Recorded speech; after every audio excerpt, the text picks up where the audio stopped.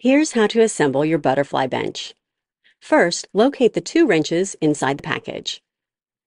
Then review the enclosed assembly instruction guide. From there, lay out the individual sections. You will find the nuts are attached to the bolts on each of the pieces.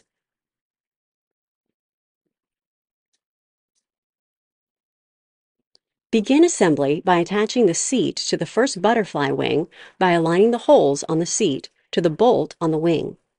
Hand tighten. Then attach the second bolt to the other end. Tighten with the wrench.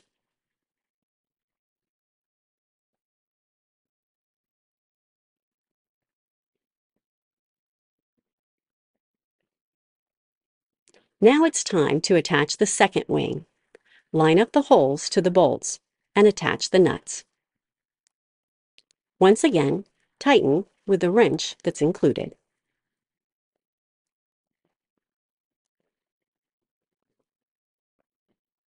Place the wings upright. Now it's time to attach the back, the butterfly body. Align the four holes on the back with the bolts on the wings and hand tighten for proper alignment. Then, tighten with the wrench.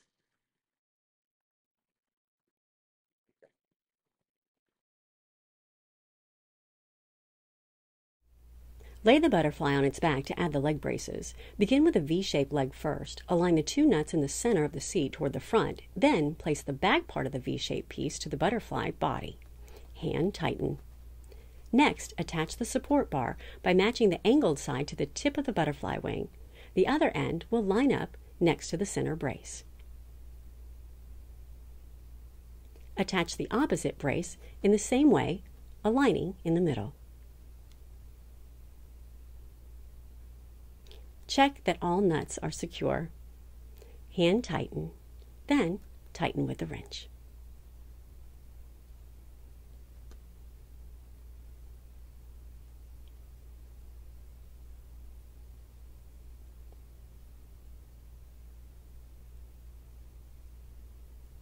Now it's time to attach the antennas.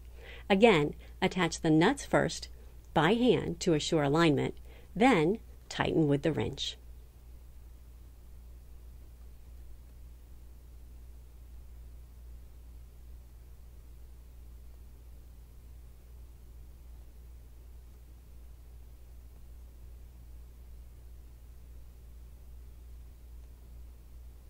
Your butterfly bench is now assembled. Relax and enjoy.